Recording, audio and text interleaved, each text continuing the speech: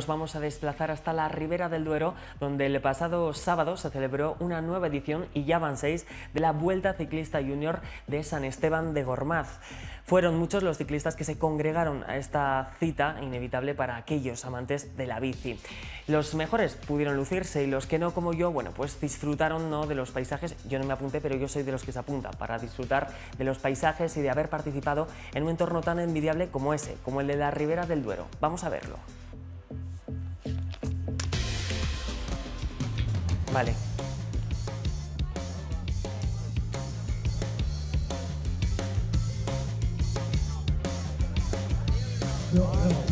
El ciclismo ha vuelto a elegir a San Esteban de Gormaz eh, como una de las etapas de la Vuelta Ciclista Junior a la Ribera del Duero. En su segunda etapa de esta edición, en los ciclistas, más de un centenar de todo el mundo han recorrido 94 kilómetros entre esta villa y Langa de Duero.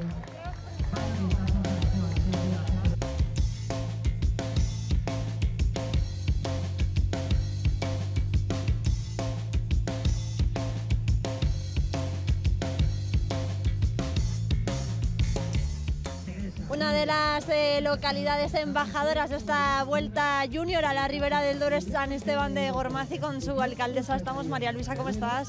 Pues muy contentos de acoger una nueva edición de esta etapa de la Ribera y bueno, yo creo que después de mucho trabajo, por fin a disfrutar un deporte que es un puro espectáculo, pero también mucho esfuerzo y mucha dedicación que hay detrás de todas estas pruebas y encantados de ser nuevamente meta de esta segunda etapa. ¿Cómo se ha preparado San Esteban de Gormaz para acoger a todos estos corredores que vienen de tantos países diferentes además? Pues como veis, con la coordinación, gracias evidentemente a todo el Consejo Regulador que también es el que nos apoya en todo esto, a la propia Ruta del Vino y al Ayuntamiento de Aranda de Duero. Sin su colaboración esto sería impensable y bueno, pues en el momento que nos pidieron participación ahí hemos estado desde el minuto uno y bien, eh, yo creo que un trabajo coordinado en equipo como precisamente es un poco los valores que transmite el ciclismo. Así que encantados.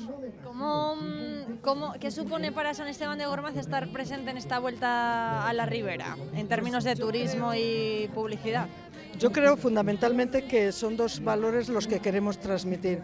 Una, que pertenecemos a esta gran denominación que se llama Ribera del Duero, que cohesionamos un territorio de forma más que evidente y qué mejor manera de hacerlo que a través de un deporte que yo creo que cuenta con mucho seguimiento y ya lo veis la animación que hay y año tras año es cada vez más el número de personas que se acercan para ir siguiendo esta ruta.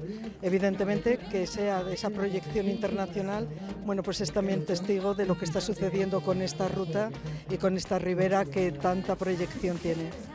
Eh, imagino que alojamientos de la zona estén reservados desde hace bastante tiempo. No sé si se sabe cuánta gente ha venido y cómo está la ocupación. Sí, fundamentalmente toda la zona, evidentemente desde Aranda de Duero hasta Burgo de Osma, tiene una ocupación total gracias a este tipo de competiciones deportivas de primer nivel. El retorno económico, ya lo veis, la actividad en los bares, la hostelería y bueno, pues evidentemente eso también es la otra connotación, nada desdeñable, pero volvemos a poner en valor que también vendemos nuestro patrimonio, nuestros paisajes y el producto del vino, que evidentemente es lo que subyace a todo esto. Es decir, que vaya paisajes tenemos en esta etapa, ¿no? Sí, precioso, un recorrido increíble y eso también hay que ponerlo en valor para que la gente descubra toda esta comarca, que es increíble y bueno, ofrece, yo creo, para muchos eh, que incluso viviendo aquí no han descubierto todavía esos parajes tan increíbles.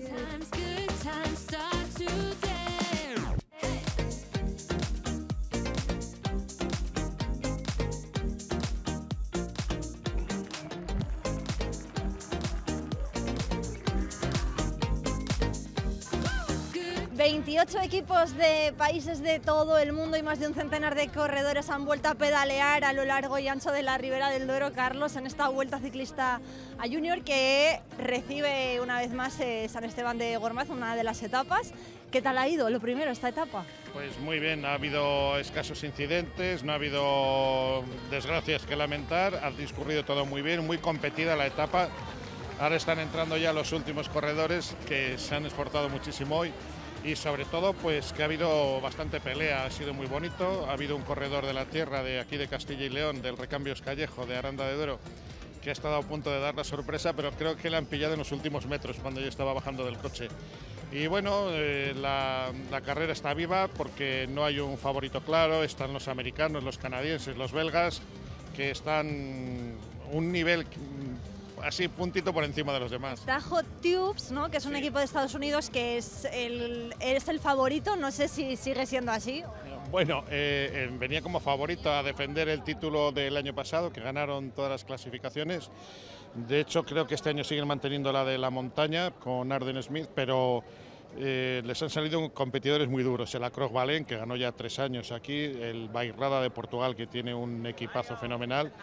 Y luego pues están los canadienses y los noruegos que dan muchísima, muchísima guerra. Está preciosa la verdad la carrera. No hay un favorito claro como otros, eh, otras ediciones que, que era un paseo triunfal de algún equipo, pero este año está competido.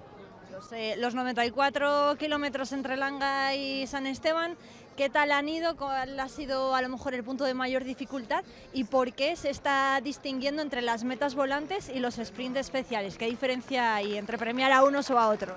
Bueno, mira, la etapa ha sido dura porque hemos subido varios puertos de, de, montaña. Nada más empezar hemos tenido uno, luego hemos tenido uno muy fuerte en la provincia de Segovia, porque hoy hemos pasado por tres provincias, es curioso. Burgos, Segovia y, y Soria, que es por donde más ha transcurrido la etapa. Entonces ha sido bonita porque ha habido llanos, ha habido descensos, ha habido subidas fuertes. Y en cuanto a la pregunta que me hacías era de... Los sprints los especiales. especiales. Pues mira, el diseñador de los recorridos, pues lo que busca muchas veces es mantener viva la carrera y dar oportunidad a corredores que sabemos que se van a quedar en la montaña, pues que sprinten, que tengan su momento de gloria también y sobre todo para mantener viva la carrera, ¿no? Los sprints eh, mueve a todo el pelotón, una meta volante también y aparte que le suponen puntos y bonificaciones para la clasificación general. Carlos, muchas gracias, que disfrutéis mucho de San Esteban de Gormaz. Gracias a vosotros, que aquí da gusto en San Esteban.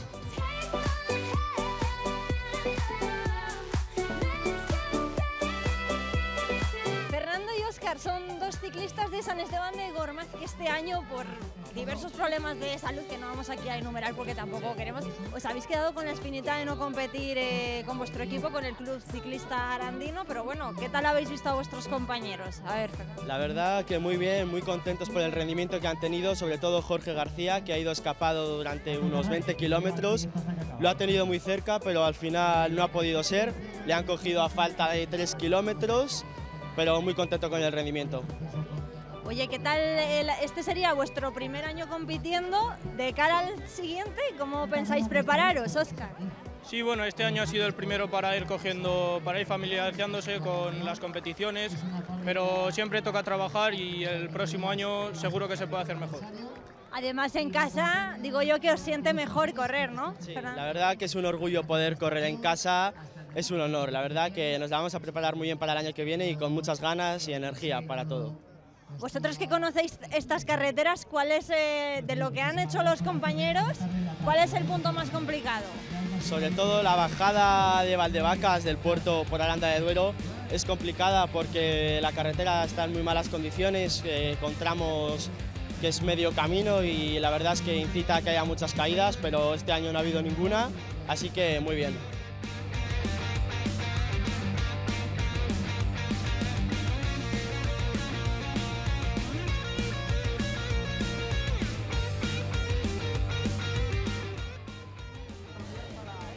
Liam Pompelón es el eh, ganador de la etapa de Langa de Duero y San Esteban de Gormaz, de esta segunda etapa que recala en la Ribera del Duero. Liam, welcome to San Esteban de Gormaz. How are you?